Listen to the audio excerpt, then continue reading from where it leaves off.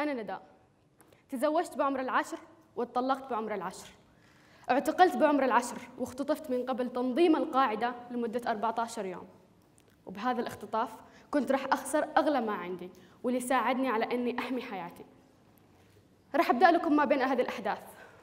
كنت بعمر العشر سنوات زي أي طفلة. حلمها تلعب حلمها تدرس. كنت حلمي إني أكون دكتورة أسنان دكتورة أطفال. كنت ما بين الاثنين.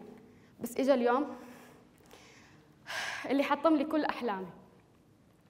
أجل عندي أهلي يخبروني إنه حفل زواجي بعد أربع أيام. بعد أربع أيام يا سادة. يعني أنا زوجت أصبحت متزوجة بالقانون بدون علمي يفصلني عن يوم تسليمهم لي كزوجة. تحت مسمى الزواج فقط أربع أيام. ما رفضت ما قبلت. جلست أفكر بالأحداث اللي حصلت لي. جلست أفكر بإني خسرت أغلى ما عندي بسبب الزواج. خالتي اللي كنت ألعب معاها منعوني منها لأني أصبحت متزوجة عيب عمرها 13 سنة. خالتي زوجت لشخص يكبرها ب 40 سنة. وكان يعنفها وكان يبرر عنفه لها بأنها ما تفهم المسؤوليات ما تعرف تعتني ببنتها فخالتي فكرت بأنها تنهي ألمها بأنها تنهي حياتها. فأحرقت نفسها وماتت. بعدها جاء دور لأختي بعمر 12 سنة. رفضت وهددت إذا زوجتوني راح أسوي مثل خالتي. ما حد صدقها. آه قالوا طفلة لا تصدقوا. يعني عادي سوي اللي تشتيه زي كذا. فبالفعل للأسف الشديد أحرقت نفسها بالبنزين وقدرنا ننقذها. في الأيام اللي كانوا يجي يكلموني إني راح أكون عروسة كنت أشوف أختي قدامي محروقة جالسة تتعالج. كانوا يغروني بالفستان كانوا يغروني بحفل الزواج بعمر العشر سنوات. كنت أقول بيني وبين نفسي الفستان اللي أعطيتوه خالتي وأعطيتوه أختي ما راح يحرقني. ففكرت أهرب لأني لو قبلت بمصيري راح يكون نهايتي وقدري راح يكون مثل خالتي. لو رفضت وضليت على نفس الإصرار والرفض ما هربت راح يكون مصيري مثل أختي ونهاية ما حد راح يسمع لي. ففكرت أهرب وهربت لعند عمي. عمي بذاك الوقت ما كان موجود. حاول اتصل فيه جواله مغلق. هذه كانت أول تح... أول أول يعني شيء حطمني إنه عمي ما كان موجود. اتصلت بصديقه. كلمته بكل اللي حصل. تدري إيش قال لي؟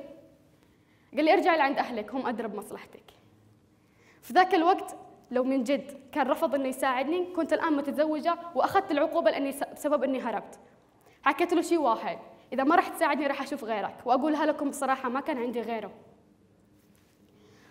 قال لي خلاص خليكي بالعنوان اللي أنا أعطيته إياه وجاب لي أخته لعندي. رحنا أنا وياها سافرنا من صنعاء للحديدة. محافظتين تفصلهم ست ساعات المسافة. حاولت أتواصل بعمي واصدقائه بس ما كان يستجيب. الشيء الوحيد اللي عرفته إنه عمي خارج اليمن. سجلت فيديو وكان هذا آخر حل عندي عشان توصل صوتي لعمي.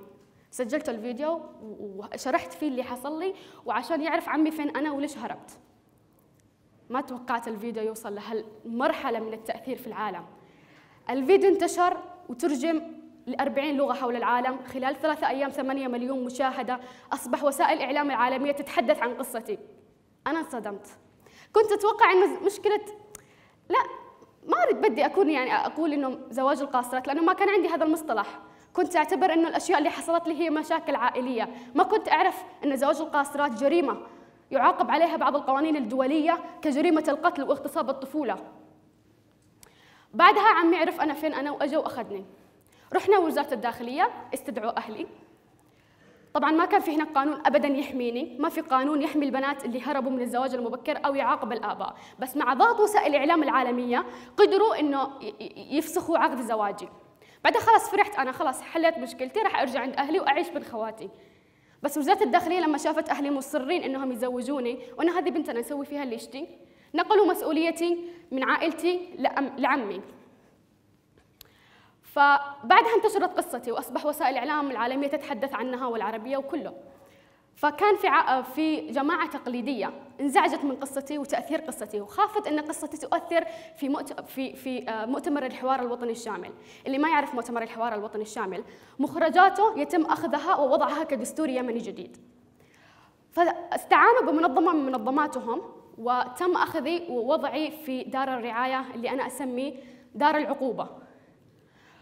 وخلال الأيام هذيك طلعوا خطاب خلال اعتقالي طلعوا خطاب تشكيك بقصتي وكان هدفهم بأنهم يعتقلوني عشان ما أطلع انفي هذا الخطاب. فما أقول لكم الجرائم اللي شفته داخلها. يعني صديقتي كانت ما تتكلم. صديقتي المقربة داخل الدار. ما كنت أعرف إيش السبب. إلا لما جت لعندي أختها وخبرتني عنه إن ما فقدت صوتها من الطفولة أو إنه لما ولدت هي هي ما عندها صوت. صديقتي اللي عمرها ثمان سنوات اغتصبت من قبل إخوانها الثلاثة.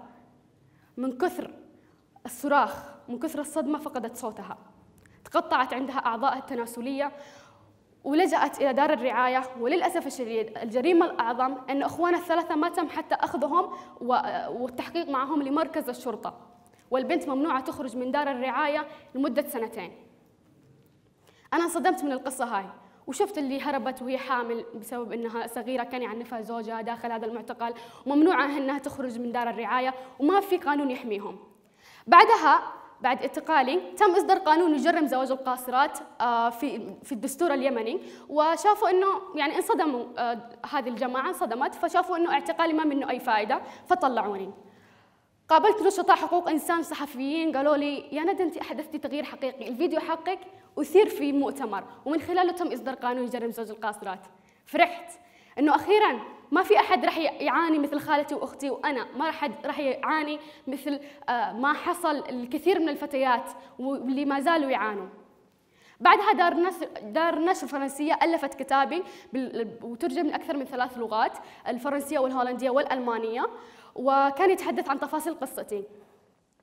حاولت إنه كان لازم طبعا حفل تدشين الكتاب فلازم أروح فرنسا. حاولت عن طريق صنعاء مطار صنعاء العاصمة. كان مغلق. كانت بداية الحرب في اليمن. حاولت عن طريق محافظة أخرى وأثناء عبوري لعدن منعوني من من دخول عدن قالوا لي أنت ممنوعة من السفر. ما أعطوني أي مبرر. بعد ما تنكرت بعد ثلاثة أيام وبدون ما أبرز هويتي دخلت. كان نقاط التفتيش يقولوا للسائق كل الركاب على مسؤوليتك. ليش؟ لأنه في اشتباكات. حرب بداية الحرب كانت. فدخلنا وقال أوكي ودخلنا وعبرنا عدن. وكنا نشوف الرصاصات قدام عيوننا. الحمد لله قدرنا نتخطي هذه المرحلة الصعبة ووصلنا عدن. أول يوم وصولي لعدن تم اختطافي من قبل القاعدة.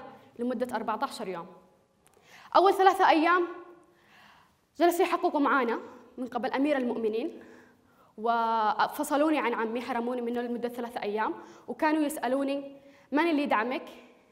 ليش دار النشر الفرنسية طبعت عنك كتاب؟ وليش مسافرة فرنسا؟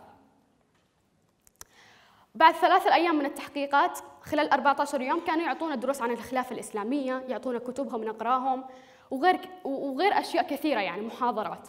فخلال 14 يوم كان بعض الصحف المحلية تحدثت عن اختطافي.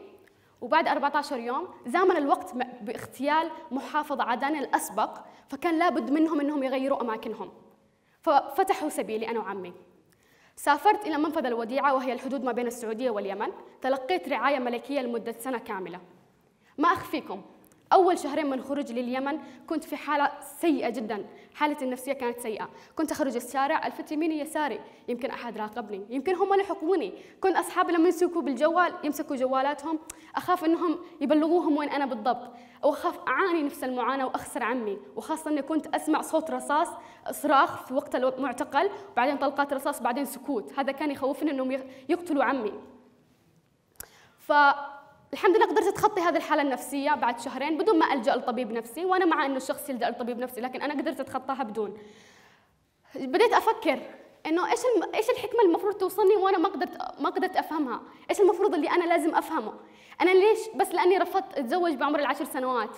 وكان حلمي بس إني أعيش طفولتي بدون أي مميزات حوربت اعتقلت هددت اختطفت من قبل تنظيم القاعدة. ليش هذا كله؟ فبديت أؤمن إنه دام أنا حصلت فرصة للعيش ليش ما أعطيها غيري يعيشوها؟ وخاصة إنه لما لما تم إصدار قانون يجرم زواج القاصرات في اليمن أصبح معلق مع الحرب لا يطبق في اليمن. فجرائم زواج القاصرات تنتشر أكثر. فبديت من فيديو لفيديو أنشط في ذا المجال أصور فيديوهات أكثر آه، يعني أتكلم عن قضايا كثيرة عن زواج القاصرات ومخاطره. ما, ما كنت عندي معلومات عن زواج القاصرات بس كنت أبحث أقرأ أسأل اللي أكبر مني إيش إيش يعني زواج القاصرات وأبحث أكثر. كان يجيني أيام أحبط فيها انه صوتي مش مسموع ما حد سامع لي ما حد يهتم لصوتي. بس لما أذكر إن في كل دقيقة يتم تزويج 28 فتاة حول العالم 28 فتاة يتم سرقة طفولتها وأحلامها وطموحاتها يزيد فيني الإيمان بقضيتي. وبالفعل مع الاستمرارية وإيماني بقضيتي قدرت إني أثبت وجودي قدرت إني أثبت إن زواج القاصرات جريمة في مجتمعي. بدأ الناس يقولوا استمري أنا يشوفوني بالشارع استمري لا توقفي لا توقفي. فاجت يوم وانتشرت قصة الطفلة شيماء. طفلة شيماء عنفت من قبل أبوها لحد ما حصل لها إحمرار واخضرار في وجهها. فواحد من مستخدمي ال social media برنامج من برامج ال social media صورها ونزلها. عشان يناشد نشطاء حقوق الإنسان عشان يعني يدافعوا عنها أو يحموها. طبعا انتشرت قصتها بشكل كبير. لما أبوها شاف الصورة ضربها أكثر وكسر لها بعض أعضاء جسمها. طفلة شيماء عمرها ست سنوات. بعدها وصلت قضيتها للنيابة العامة. النيابة العامة للأسف رفضتها رفضت القضية. قالت إيش؟ ما عندنا قانون يجرم تعنيف الأب لبنته ما عندنا قانون يحمي البنت من تعنيف أبوها. أنا هنا انصدمت.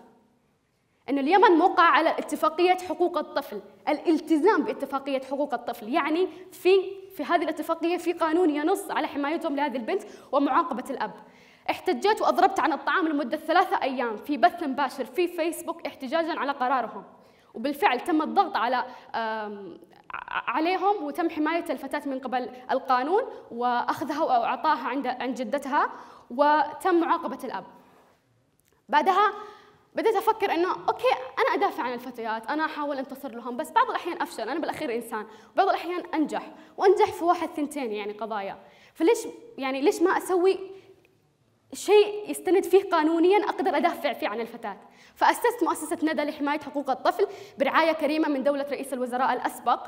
وهذه المؤسسة طبعا تبنت ثلاث مشاريع. مشروع أول احلامنا تتحقق لتعليم الفتيات اللغة الإنجليزية. ملاذات آمنة لملاذ الفتيات القاصرات اللي آه، اللي هربوا بسبب الزواج.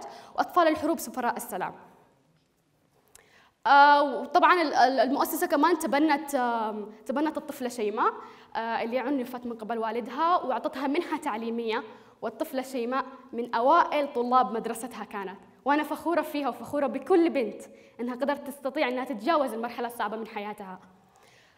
في بداية مارس عام 2020 المؤسسة راح تستلم جائزة لاهتمامها بالفتيات من منظمة بريطانية. وإن شاء الله نستطيع كمان آه، يعني نستطيع إن إحنا نعمل برامج أكثر.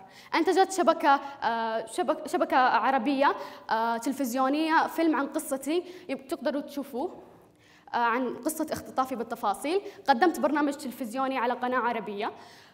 باسم بنات نواعم حضرت مؤتمرات دولية لأكثر من خمس دول عربية ودولية وإقليمية. أيضا حصلت دعم ودعموني العديد من الشخصيات السياسية من جميع أنحاء العالم والشخصيات كمان الحقوقية. آه، رسالتي بالنهاية أنه مهما شفتوا المصاعب في حياتكم مهما كانت المصاعب كثيرة صدقوني النجاح راح يكون أقوى. يعني أنا قصتي مش للحكاية أنا قصتي للعبرة. أنه اثبت تنبت. أؤمن بقضيتك. أنا عندي قضية. كل واحد هنا موجود عنده قضية. كل شخص فينا عنده قضية. بس للآن ما اكتشفها أو أنه مش مؤمن فيها. فلازم تؤمن بقضيتك عشان الناس تؤمن فيك. كل ما آمنت بقضيتك وكل كل ما استمريت فيها كل ما ما كانت النتائج أكبر. أنا كنت قادرة إني أحل مشكلتي وخلص وأعيش مع عمي وخلص بس لا حاولت أغير وجهة نظر أهلي. لأن عندي ثنتين خوات أكثر. عندي ثنتين خوات. لو أنا تجاهلت الموضوع بكرة رح يكون زواجها. غيرت وجهة نظرهم بمساعدة عمي. وقدرت الآن تصبحوا داعمين لي. يقولوا لا توقفي انتصري للفتيات. وداعمين لتعليم أخواتي فالإيمان بالقضية هي أول مرحلة في أنك تبدأ آه، تكبر قضيتك وتبدأ تثبت للعالم أن قضيتك هي الحق. فاثبت تنبت. وهذه رسالتي وشكرا لحضوركم.